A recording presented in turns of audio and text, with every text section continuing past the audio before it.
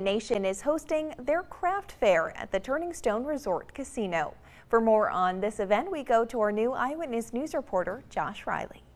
On Saturday, June 3rd, the Oneida Indian Nation will be hosting the American Indian Summertime Craft Fair at the Turning Stone Resort Casino. Derek Montroy, a member of the Oneida Indian Nation and a member outreach and advocacy coordinator for the Oneida Nation, was talking to me earlier about this weekend's exciting event. It's a free event at 9 to 5 on uh, this Saturday. We like to do this one to open up uh, the summertime. Starting at 9 a.m. and running till 5 p.m., the craft fair will be hosted in the event corridor. So we'll have nearly 50 vendors, um, and they'll come with their own supply of their artwork and other handmade items. The Haudenosaunee are typically known for their beadwork, uh, so a lot of artisans will have that, but there'll be uh, pottery and paintings and uh, carvings, woodworking, uh, leatherworking, um, moccasins. So there'll be um, a lot. Also, starting at 10 a.m. and lasting until 3 p.m., there will be a social dance exhibition performed by Chris Thomas and his Smoke Dancers.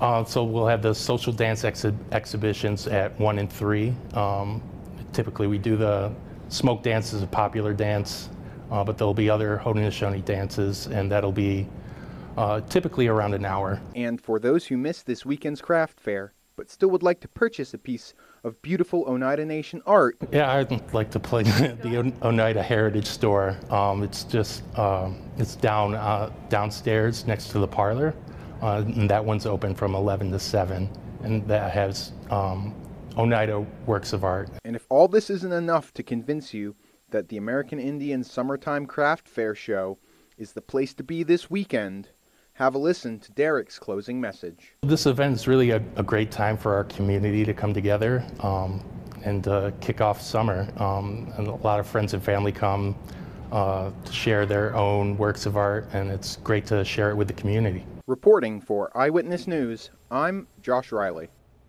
Still to come tonight on Eyewitness.